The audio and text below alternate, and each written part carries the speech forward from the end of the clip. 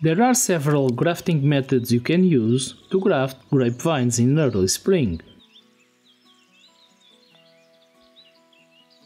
In this video, I will cover in detail which methods are the best in different grafting situations.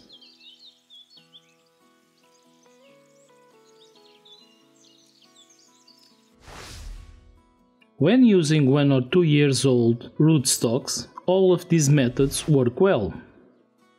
You can even graft young cuttings from older vines and root them afterwards using one of the rooting methods I show in the channel. However, since dedicated rootstocks are more resistant to soil-borne pests and can adapt to different climatic and agricultural conditions, one option is buying inexpensive young vines grafted to the desired type of rootstock and replace the grafted variety.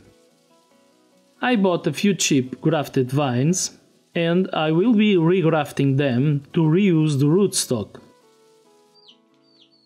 I will be grafting new varieties very resistant to fungal diseases, so I have to make the most of the limited grafting material I received. Since the available grafting material is far from ideal, choosing the best grafting technique in each case is crucial to the graft success. One important point is checking to see if the scion is in good condition, as grapevines have a tendency to dry out from the top after the growing season. You can simply scrape the scion to see if it's green.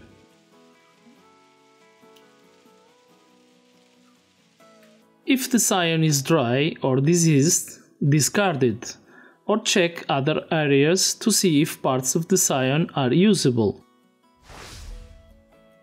If the rootstock has a branch of the grafted variety with a similar size to your scions, you can use the cleft graft or the whip and tongue graft directly on that branch. Although it's a bit more difficult to execute, I usually prefer to use the whip and tongue technique since it provides many more cambium contact points. So, this technique has a much higher rate of success even if the execution is very far from perfect, as you can see in this graft. In the cleft graft, failure to match or cross the cambium lateral points will result in graft failure much more often.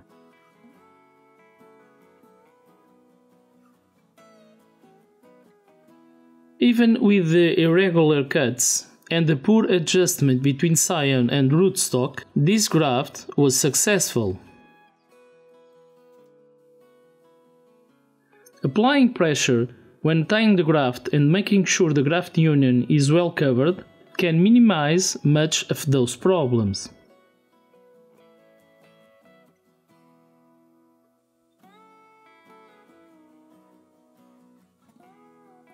What can result in graft collapse is failure to release the excessive pressure from the flowing sap.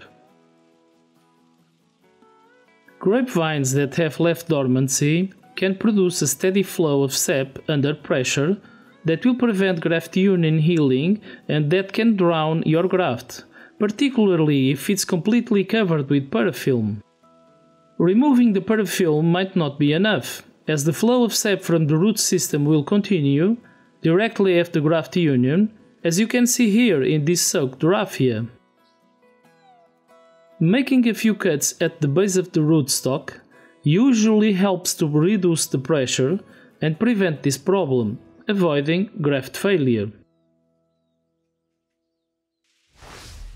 When grafting larger diameter rootstocks with thinner scions, the modified cleft graft has no rivals. The most difficult part of the technique is to avoid applying too much pressure to the knife when making the vertical cut near an edge of the rootstock.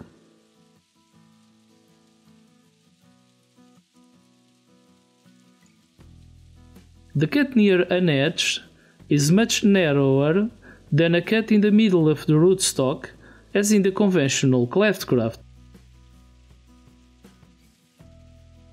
This way, most medium diameter scions will fit perfectly into this slot, with perfect cambium contact, without needing any cambium adjustment.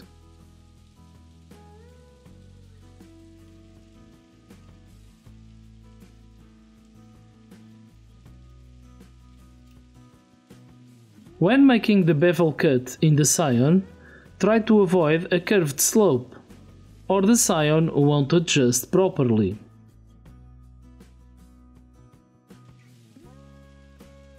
Making the back cut might help to reduce the slope.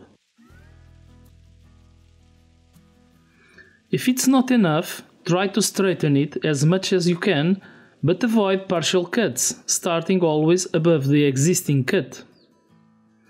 The ideal cut should be completely straight with a small back cut at an angle.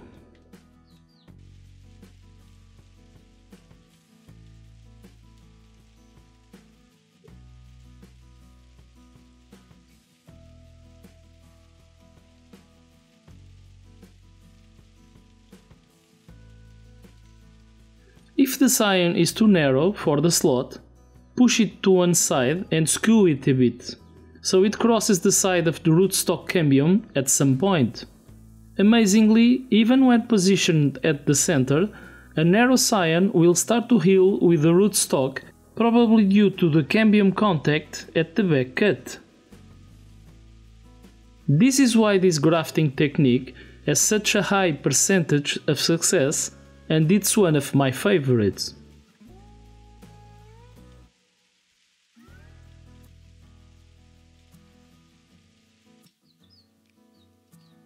Another option when the scion is too narrow is using a single bud and the chip bud or T-bud grafting techniques.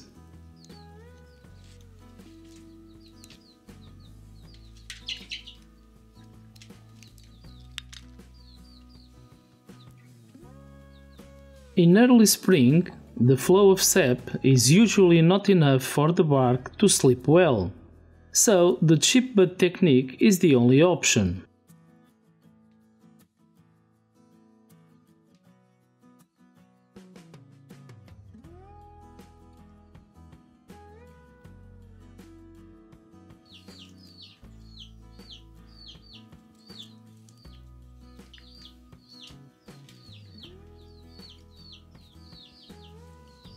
The only disadvantage of this technique over T-budding is the need to protect the bud much more effectively since the chip can't be placed inside the bark.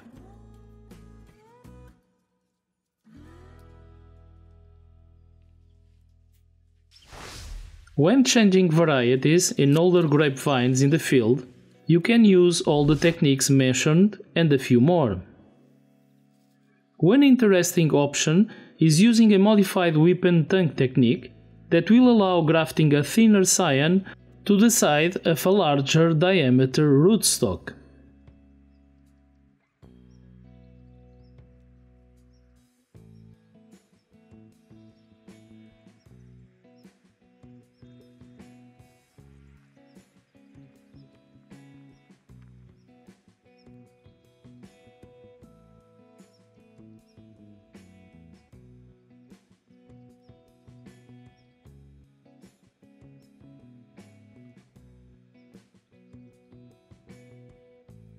After inserting the scion, be sure to adjust it, so the cambium layers overlap or cross at one side of the cut on the rootstock.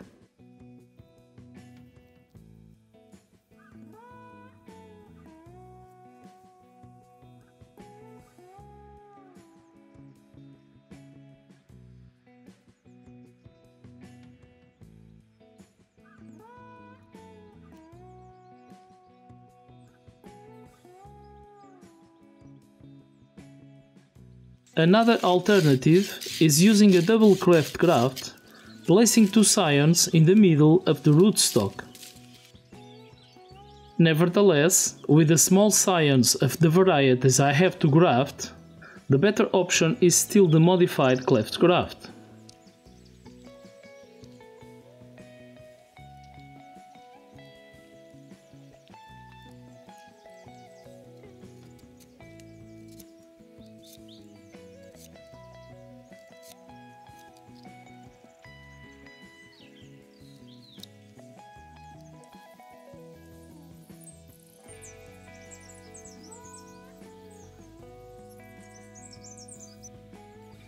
This double graft will heal much better, as the double cleft would leave an empty space in the middle of the rootstock.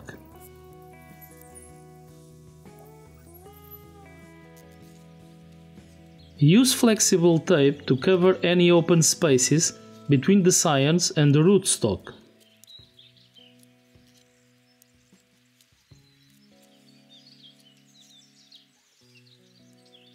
Finish by covering the graft with pruning paste to avoid water and air to enter the graft.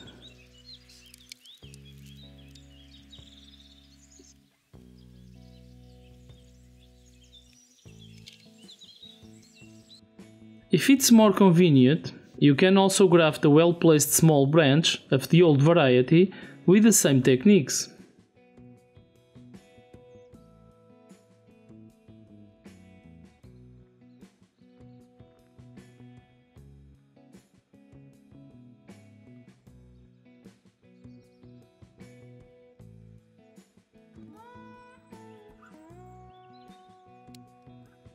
Nevertheless, be prepared to remove all buds that might grow at the base of the graft or at other points of the old variety, as they might divert the sap from the graft, causing its failure.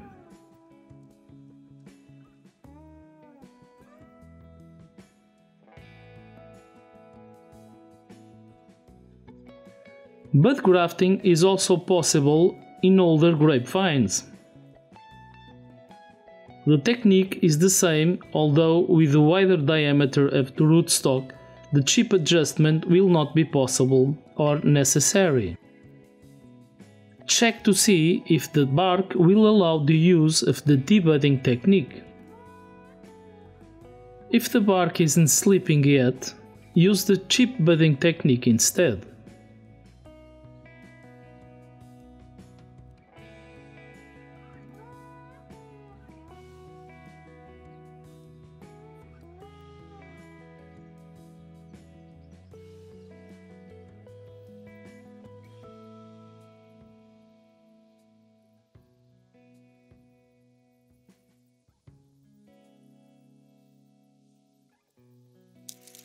You can also place a bud in a branch of the old variety, but since you have to wait until the bud starts to grow to remove all the growth above the graft, the potential for undesired buds to develop below the graft will make managing the future plant much more complicated.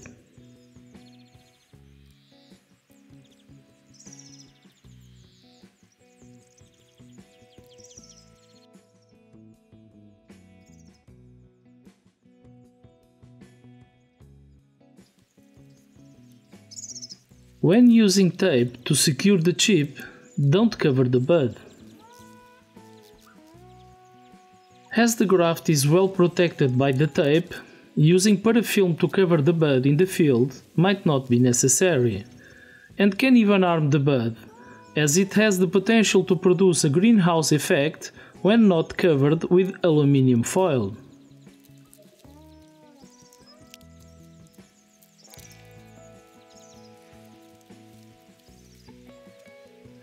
After 3 weeks, all the buds are showing signs of development and a few are even starting to break the parafilm.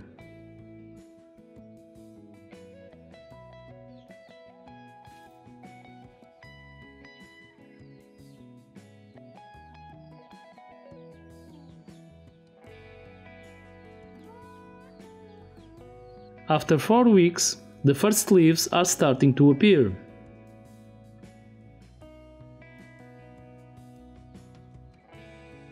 Thanks for watching.